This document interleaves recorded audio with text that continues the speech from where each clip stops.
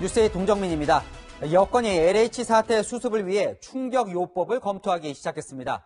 오늘 하루 문재인 대통령은 여당 지도부를 정세균 총리는 관련 장관들을 모두 소집해 수습안을 논의했는데요.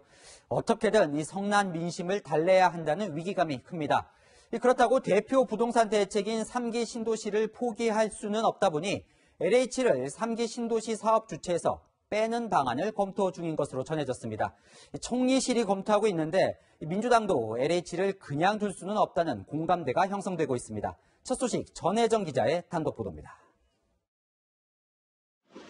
국무총리실이 3기 신도시 추진을 한국토지주택공사 LH가 아닌 다른 곳에 맡기는 방안을 검토 중인 것으로 알려졌습니다.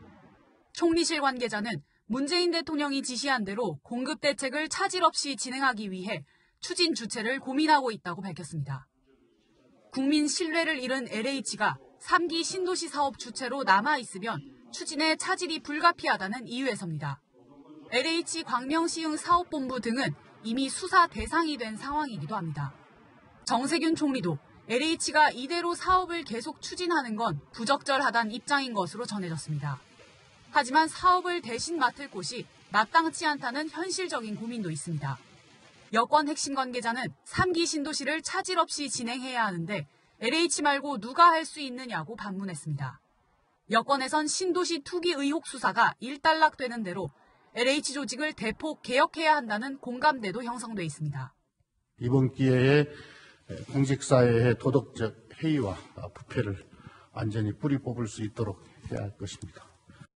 또 다른 여권 핵심 관계자는 지금 조직으론 안 된다는 생각이라며 구조개혁이 당연히 필요하다고 강조했습니다. 여권 내에선 주거복지와 도시재생, 주택 분양 등 사업 분야별로 조직을 분리해 LH를 사실상 해체하는 개혁안도 거론되고 있습니다. 2009년 대한주택공사와 한국토지공사가 합병돼 탄생한 LH는 현재 자산 규모 184조 원에 직원 수가 9,560여 명에 달하는 거대 공기업입니다. 채널A 뉴스 전혜정입니다.